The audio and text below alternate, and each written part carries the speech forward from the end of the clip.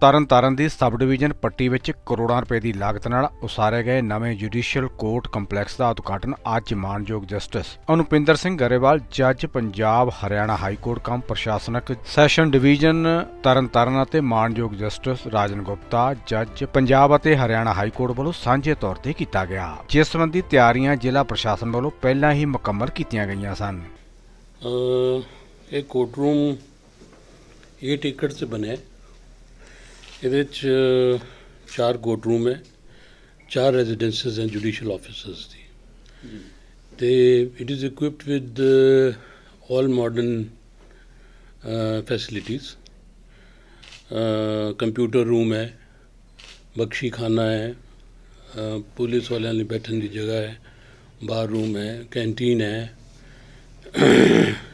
library also we have so ਇਸ ਦੇ ਬਣਨ ਦੇ ਨਾਲ ਸਾਡੀ ਉਮੀਦ ਹੈ ਕਿ ਲੋਕਾਂ ਨੂੰ ਇੱਥੇ ਕਾਫੀ ਸਹੂਲੀਅਤ ਹੋਏਗੀ ਤੇ ਜਿਸ ਤਰ੍ਹਾਂ ਪੱਟੀ ਇੱਕ ਰਿਮੋਟ ਏਰੀਆ ਗਿਣਿਆ ਜਾਂਦਾ ਹੈ, ਉੱਥੇ ਈਜ਼ੀ ਐਕਸੈਸ ਟੂ ਜਸਟਿਸ ਮਿਲੇਗੀ ਲੋਕਾਂ ਨੂੰ ਤੇ ਨਾਟ ਓਨਲੀ ਪੱਟੀ, ਸਾਡੀ ਐਫਰਟ ਹੈ ਕਿ ਜਿੰਨੇ ਵੀ ਰਿਮੋਟ ਏਰੀਆਜ਼ ਹੈ ਪੰਜਾਬ ਦੇ, ਉੱਥੇ ਜਲਦੀ ਤੋਂ ਜਲਦੀ ਪਹੁੰਚ ਕੇ ਮਾਡਰਨ ਕੋਰਟ ਕੰਪਲੈਕਸਸ ਐਸਟੈਬਲਿਸ਼ ਕਰ ਸਕੀਏ ਸਰ ਇੱਥੇ ਕਿੰਨੇ ਜੱਜ ਸਾਹਿਬਾਨ ਬੈਠਣਗੇ ਜੀ ਕਿੰਨੇ ਕੋਰਟ? ਇੱਥੇ ਇਸ ਵਕਤ ਤਿੰਨ ਜੱਜ ਸਾਹਿਬ ਹੈ ਠੀਕ ਹੈ ਇੱਕ ਕੋਰਟ ਰੂਮ ਹੋਰ ਅਵੇਲੇਬਲ ਹੈ as and when there is a posting ਤਾਂ ਇੱਕ ਜੱਜ ਸਾਹਿਬ ਹੋਰ ਹੋ ਸਕਦੇ ਹੈ ਇੱਥੇ ਠੀਕ ਹੈ ਸਰ ਕਿੰਨੀ ਲਾਗਤ ਆਈ ਇਹਦੇ ਤੇ ਨਵੇਂ ਕੋਰਟ ਕੰਪਲੈਕਸ 16 ਸੀ ਹਮ?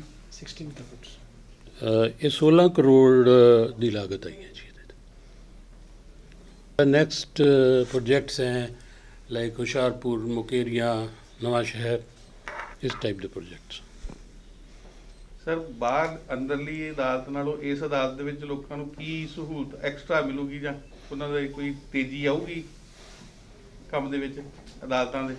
ਬਿਲਕੁਲ ਆਊਗੀ ਜਿਸ ਤਰ੍ਹਾਂ ਇਹ ਕੋਵਿਡ ਸਿਚੁਏਸ਼ਨ ਖਤਮ ਹੁੰਦੀ ਹੈ ਕਿਉਂਕਿ ਇੰਨੀ ਜ਼ਿਆਦਾ ਫੈਸਿਲਿਟੀਜ਼ ਹੋਣ ਤੋਂ ਬਾਅਦ ਜਿਹੜੇ ਰਿਮਾਂਡ ਹੈ ਉਹ ਸਾਰੇ ਉਹ ਇਲੈਕਟ੍ਰੋਨਿਕਲੀ ਹੋਣਗੇ ਰਿਮਾਂਡਸ ਤੇ ਜੱਜਸ ਵੀ ਆਪਣੀ ਡਿਊਟੀਆਂ ਬੜੀ ਐਫੀਸ਼ੀਐਂਟਲੀ ਨਿਭਾ ਸਕਣਗੇ।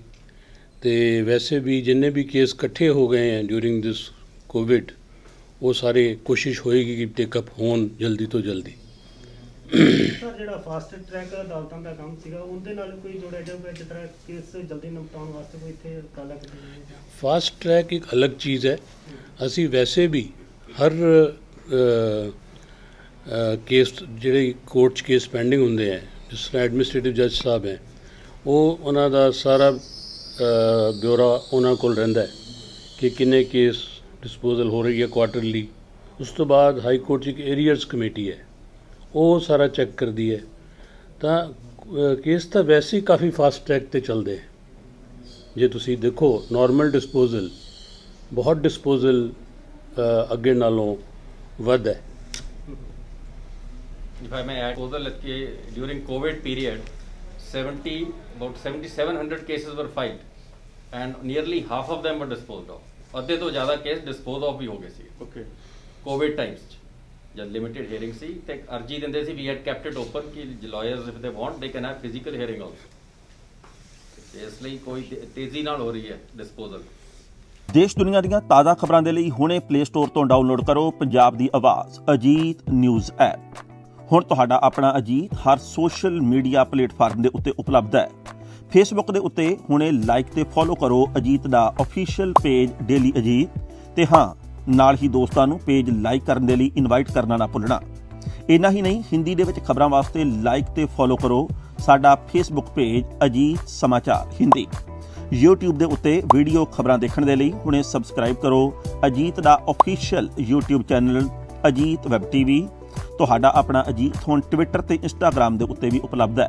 ਟਵਿੱਟਰ ਦੇ ਉੱਤੇ ਖਬਰਾਂ ਦੇ ਲਈ ਫੋਲੋ ਕਰੋ ਡੇਲੀ ਅਜੀਤ ਤੇ ਇੰਸਟਾਗ੍ਰam ਦੇ ਉੱਤੇ ਖਬਰਾਂ ਦੇ ਨਾਲ-ਨਾਲ ਵੀਡੀਓ ਦੇਖਣ ਦੇ ਲਈ ਫੋਲੋ ਕਰੋ ਬਲੂ ਟਿਕ ਵਾਲਾ। ਸਾਡਾ ਅਫੀਸ਼ੀਅਲ ਚੈਨਲ ਡੇਲੀ ਅਜੀਤ ਇਹਨਾਂ ਹੀ ਨਹੀਂ, ਅਜੀਤ ਦੇ ਵੀਡੀਓ ਹੁਣ ਤੁਸੀਂ ਐਪਲ ਟੀਵੀ ਦੇ ਉੱਤੇ ਵੀ ਵੇਖ ਸਕਦੇ ਹੋ। ਤੇ ਨਾਲ ਹੀ ਅਜੀਤ ਅਖਬਾਰ ਦਾ ਡਿਜੀਟਲ ਐਡੀਸ਼ਨ ਪੜ੍ਹਨ ਦੇ ਲਈ ਡਾਊਨਲੋਡ ਕਰੋ ਅਜੀਤ ਈ-ਪੇਪਰ ਐਪ ਤੁਹਾਡਾ ਆਪਣਾ ਭਰੋਸੇਯੋਗ ਚੈਨਲ ਤੁਹਾਡੀ ਆਪਣੀ ਆਵਾਜ਼, ਪੰਜਾਬ ਦੀ ਆਵਾਜ਼ ਅਜੀਤ।